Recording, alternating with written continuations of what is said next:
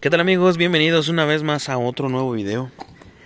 Como estás visualizando, vamos a hacer el reemplazo del tapón del radiador por la deficiencia que tenía, bueno, más bien por el efecto que está presentando, que se está hirviendo el refrigerante. No te vayas para ningún lado. Espérate aquí. Entonces, una de las causas o razones para solucionar el, problema es cambiando el tapón. Hice la compra en el AutoZone. Nos costó 100, 100 pesos. Eh, el día de mañana vamos a recorrer 50 kilómetros. Y es evidente de que cada que llegaba yo a mi destino se escuchaba el burbujeo del refrigerante. Vamos a notar un, el cambio si es la solución esta cambiando el tapón del radiador o es algún otro problema. Eh, dentro de las investigaciones encontramos que puede ser porque está pasando el refrigerante por, por los sellos de la tapa de la cabeza o porque el termostato no está abriendo a la temperatura que debe de ser para evitar que el, el, el refrigerante ebulla. Primero vamos a probar la solución más económica, que es el cambio de del tapón. Otra de las consecuencias es que la válvula de reguladora de flujo no esté trabajando bien o deficiencias en la bomba. Entonces vamos a, probar primero con, con el cambio del tapón del radiador. Ayúdame aquí.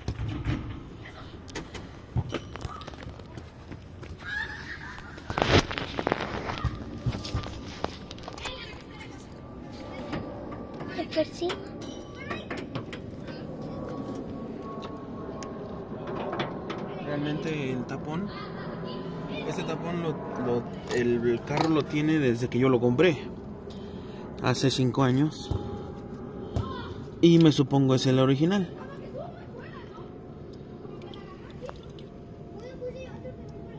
es el original porque yo no lo he cambiado.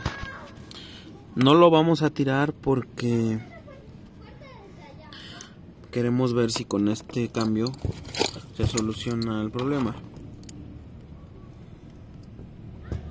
Entonces mañana les estaré comentando.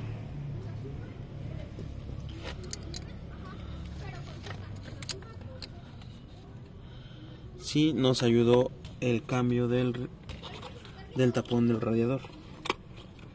Hay que verificar también el nivel del, del refrigerante, cuánto tiene.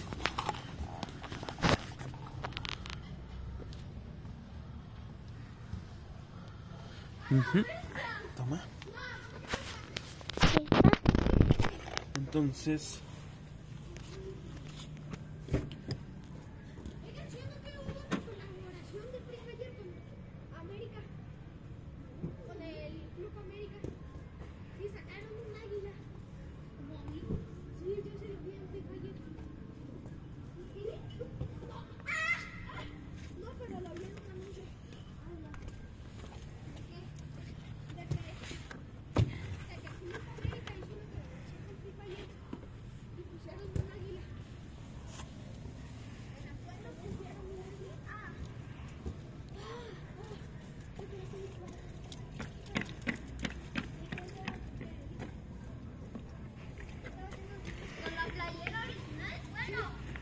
Con eso ya recuperamos el nivel.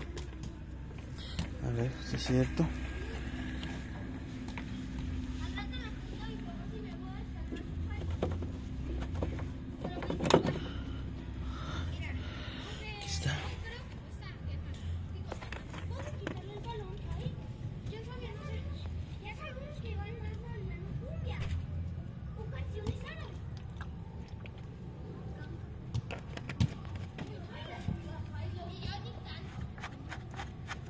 Listo. Mañana que hagamos el recorrido de los 50 kilómetros. No, no, no. Vamos a observar si eh, el efecto que estábamos presentando se, se reduce o se elimina. Les estaré comentando.